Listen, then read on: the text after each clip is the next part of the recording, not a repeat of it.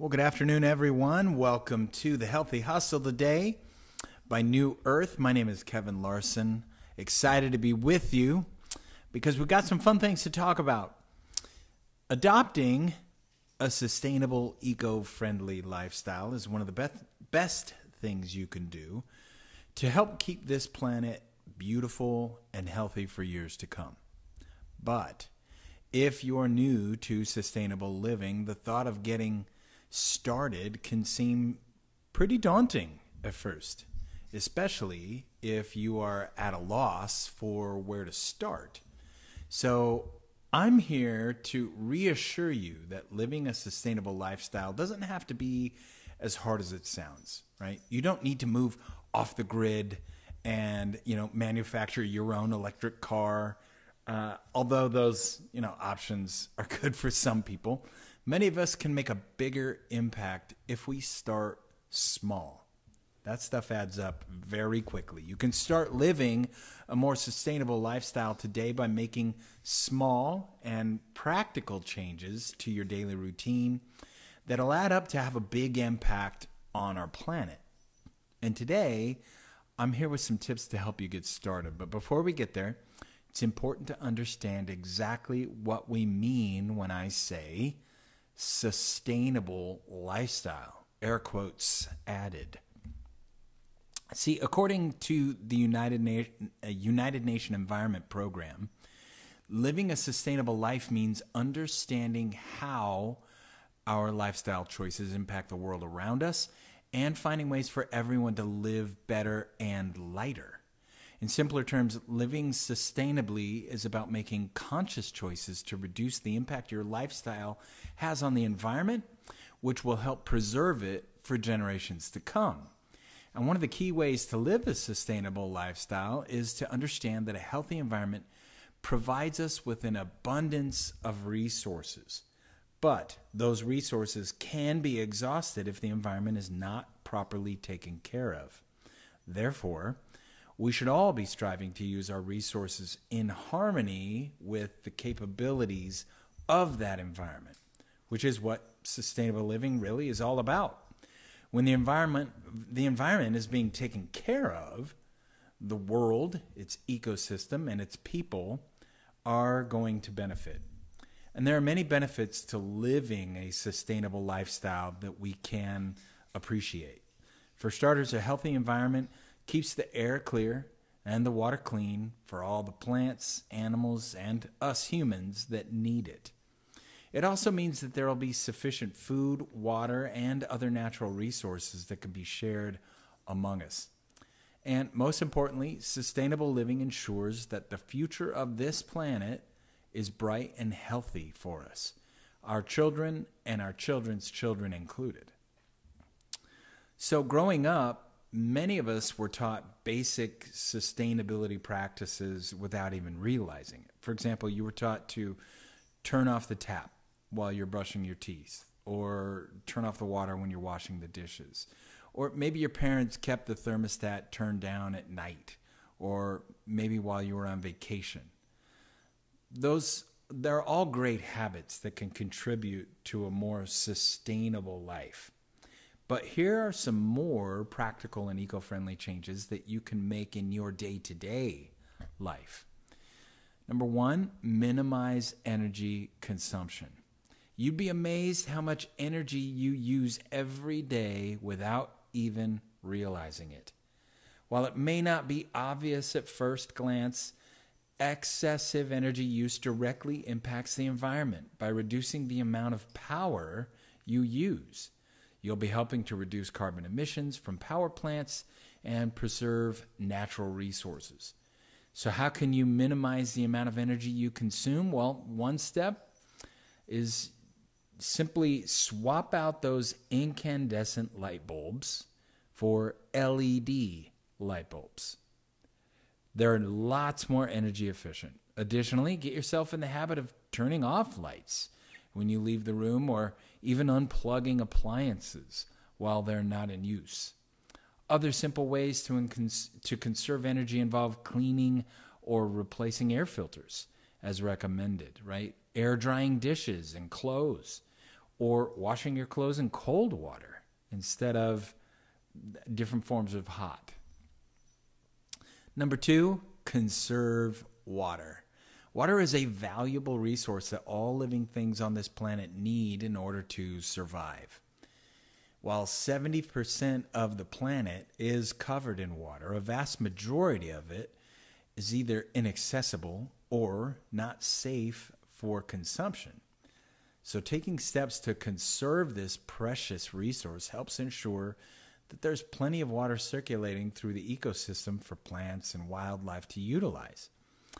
As a bonus, conserving water in your home also helps with energy conservation because power is needed for things like filtering, heating, and pumping. Some easy ways to conserve water include fixing leaking faucets or only running the dishwasher or washing machine with a full load, uh, choosing to shower instead of taking a full bath, and only filling a tea kettle with the amount of water that you know you're going to need. Additionally, you can consider installing water efficient toilets and faucets to help you conserve water without even thinking about it. Depending on where you live, you may also be able to collect rainwater that you can use for many things, like watering your garden or washing your car. Another way is to reduce, reuse, and recycle. This is a thing that we are all now being taught, especially our children, that we can make a big difference when it comes to protecting the environment. So let's tackle these in order, right? Reduce simply means cutting back on the amount of trash that we generate. And it's the best method we can practice to keep the environment clean. Some simple ways to reduce waste include composting food scraps or saying no to plastic water bottles and choosing to buy products with little or no packaging. One of the best ways to reduce waste is to find ways to reuse items instead of tossing them in the trash. And this can be as simple as using reusable items like lunch boxes, grocery bags, or glass water bottles. If you're the creative type, you can draw on that creativity to find new ways to reuse old items. For example, a glass jar can be repurposed to become storage for your bathroom, or old bath towels can be cut up to be used as cleaning rags. Another practical way to reuse is to donate old items to your local thrift shop so they can be enjoyed by someone else. And last and most commonly used is recycling, which involves taking discarded materials and turning them into new products. Things like corrugated cardboard, paper, tin, aluminum, and milk jugs can often be recycled with your local waste. The management company usually has that, has that offer. Once recycled, these items will be turned into new products. For example, cardboard might be used to create paper bags. Maybe milk jugs will be turned into buckets or plastic bottles. Every waste management company has a slightly different recycling program, so be sure to check with them to see what items they accept and make sure to only include those in the bin to avoid slowing down that process. And number four, really important one, I love it shop local. Food and other items often have to travel hundreds or thousands of miles on trucks or planes before hitting the shelves at the grocery store. This transportation process greatly contributes to air pollution, obviously. And in the case of food, it can also require the use of chemicals to ensure that it is fresh upon arrival. Well, if you're buying from local businesses, that helps to circumvent the need for excess transportation, as local businesses offers, often purchase from other local businesses. So, whether you choose to buy produce at the farmer's market or purchase wall art from a local artist, you can rest assured that you're helping keep this planet as healthy as possible. As an added bonus, shopping local also helps build stronger community ties and boosts the local economy. Another way, I love it, is support eco friendly businesses. And this is a big one. While shopping locally is always the more sustainable option, It's a fact that it isn't possible to do this for every single purchase that you make. So when situ- situations arise where shopping local isn't an option, take some time, do a little bit of research, and purchase your items from an eco friendly company whenever possible. There are a lot of companies out here today that prioritize protecting the environment. And those companies often choose to do things like use green technology in their production processes or choose packaging that is recyclable. Um, maybe opt for renewable energy sources whenever possible. With a little awareness and some research, you can get a sustainably made and shipped product while also showing your support for companies that put the planet first. Always important. Number six, growing your own food.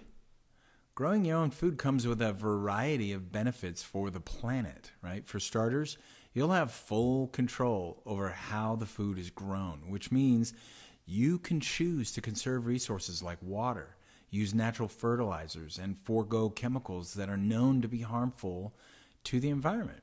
And furthermore, much like shopping locally, growing your own food can help cut back on the distance the food has to travel before it lands on your plate. Nothing is shorter than your backyard. I know that growing your own food can sound like a daunting task, but it does not have to be. Making the decision to grow your own food doesn't have to involve having the time or space for a full vegetable garden. It can also look like growing some herbs in a window box or turning your flower bed into a small area to grow a few of your favorite vegetables. Additionally, many areas have community gardens. You can contribute to uh, those community gardens if you don't want to or you don't find and create space in your own home. Number seven, travel thoughtfully. Daily commuting by car, train, or airplane leads to a large amount of carbon emissions and other types of pollution. So, if you can, try cycling or walking to places like work or the grocery store. And if that isn't feasible, consider taking advantage of public transportation, which has a smaller carbon footprint than personal vehicles. And when traveling long distances, consider your mode of transportation carefully. For shorter trips, taking your own car or taking the train is often more eco friendly than flying. Planes consume an awful lot of jet fuel. For longer trips, when a flight is required, do your best to choose the most direct flight possible, since taking off and landing consume substantially more fuel than cruising. Choosing flights with the fewest layovers possible is always your most environmentally friendly option, and personally, it's more comfortable. It's a better way to travel. Living a sustainable lifestyle does not have to be as hard as it sounds. From turning off the lights as you leave the room to purchasing products from local businesses, adding these small habits to your daily life can make a huge difference. And that's why we consider simple, eco friendly habits a big part of living the New Earth life. So go ahead, join us in making the world a better place by making your lifestyle a little more sustainable. And let us know in the comments if you have any other practical sustainability tips that you'd like to share. We would love to hear them. And with that, folks, that's the Healthy Hustle for today. We will talk to you again soon. Bye bye.